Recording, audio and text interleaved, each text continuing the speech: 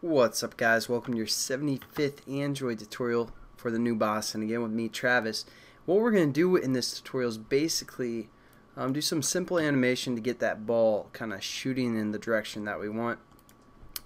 Um, and obviously if you guys have done Java programming before or any kind of game programming you're probably going to look at these this tutorial and the next one and be like what is he doing this it is because what I am going to do um, is probably terrible programming but it's I'm trying to teach you guys the concepts and what you guys need to learn for this. Um, obviously, I'm probably going to create some kind of a game development uh, series on my on my on my channel at uh, MyBringBack, so you guys can subscribe and look forward to that.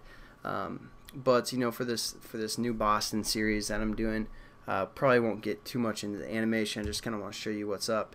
So first thing we're going to do is we're going to create some more floats. We're going to call one DX and dy for change in x and change in y direction.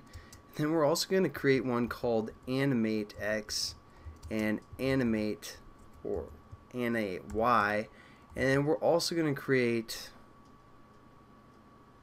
one more called scaled x and scaled y.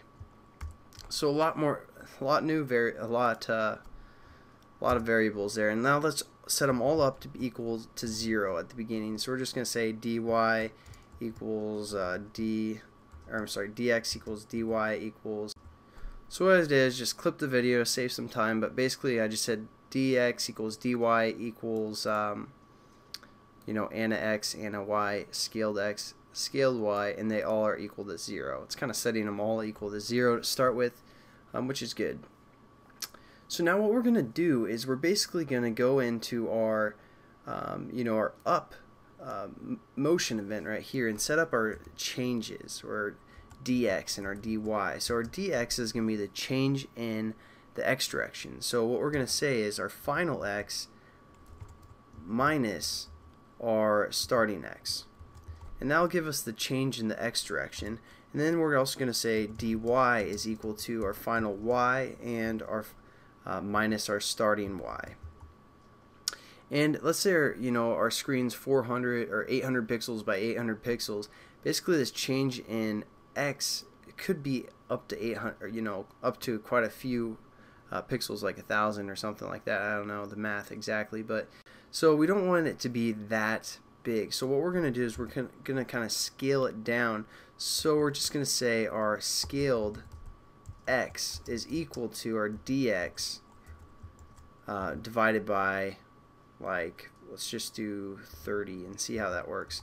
Then we're also going to say our scaled y is equal to our dy divided by 30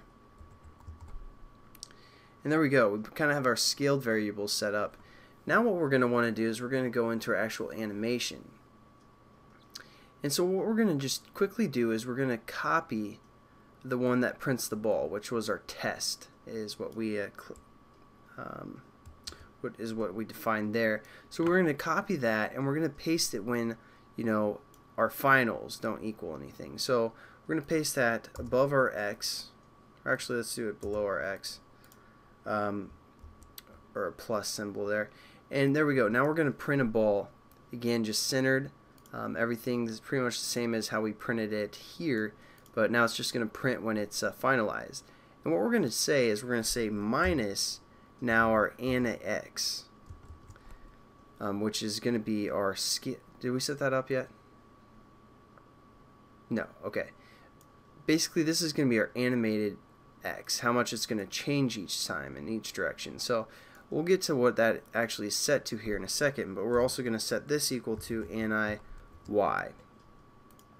And now we just need to set up these variables.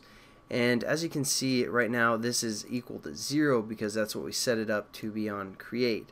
So after it runs through here, we're going to change it a little bit um, after you know this if statement, and we're going to change that value.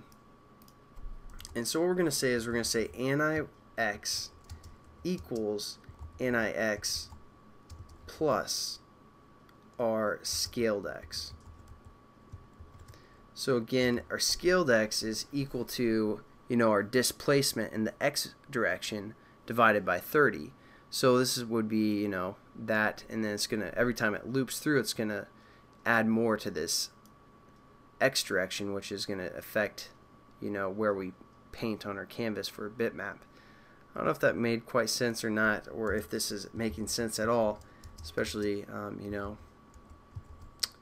probably isn't but uh, hopefully you guys kind of are picking up on some stuff especially the new programmers.